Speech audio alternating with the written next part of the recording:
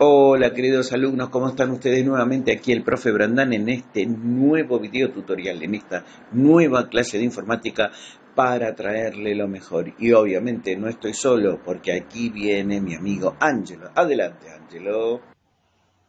Ciao amico Sergio, come stai? Tutto bene professore? Ho trovato questa bellissima settimana. Le ricordo di te, il tuo studiante in Argentina.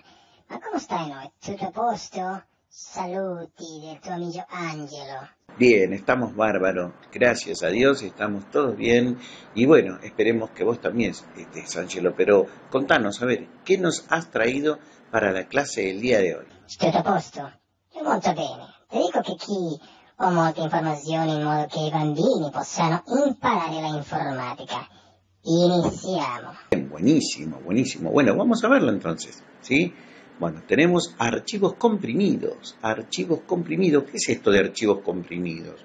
Cuando vos tenés un montón de información y querés guardarla en un lugar determinado, como por ejemplo un pendrive, bueno, vos lo que podés hacer es comprimirla para que esa información pueda entrar sin ningún tipo de problema. Y hay distintos programitas que te permiten hacer eso, distintos tipos de compresores. Por ejemplo, el primero ha sido este, el zip ¿eh? que es un mueble con una morsa que está apretando. Bueno, eso ha sido uno de los primeros compresores.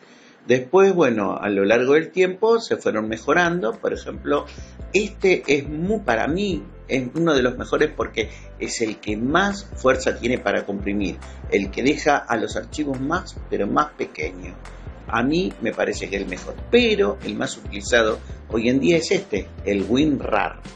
Y después tenemos otro tipo de programitas TARG, por ejemplo, pero estos los utiliza el sistema Linux, el del pingüinito.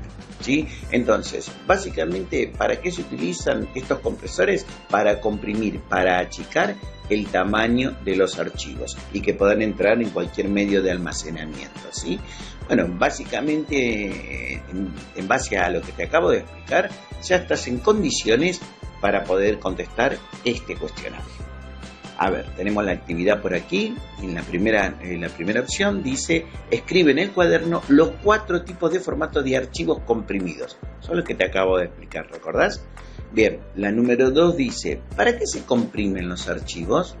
Hay que hacer memoria, hay que estar atento. ¿sí? Después, la número tres dice, ¿cuál es el tipo de archivo comprimido que más utiliza, o sea, el, más utilizado, el que más se utiliza, ¿cuál es de los cuatro que hemos nombrado anteriormente? Y después el cuarto punto dice unir con flechas según corresponda. Entonces tenemos dos columnitas y de este lado ¿sí? tenemos los nombres de los archivos y de este lado tenemos qué es lo que hace, pero están desordenados. Vos en base a prestarle atención al video y poder nuevamente verlo en el caso de que te haya quedado una duda, vas a poder unir con flechas sin ningún problema. Bueno, pero ahora ha llegado el momento del juego. A ver, nuestro Angelo, nuestro amigo Angelo, ¿es capaz de presentar el juego de la semana? Ragazzi, è uscito la partita della scorsa settimana. Bene, guarda questo che ti ho portato oggi. Contiamo. Bueno, entonces ahí vamos, ¿eh? Vamos a él. Chachan, chachan. Tenemos aquí tenemos el reto de esta semana es encontrar cuatro piezas diferentes. Vamos a ver si estás acostumbrado, puede participar toda la familia. ¿eh?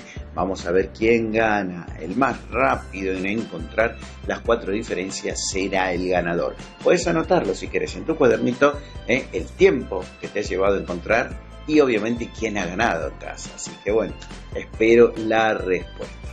Bueno, como el tiempo ha terminado, básicamente en este juego y en nuestra clase también, nos vamos a despedir hasta la próxima semana.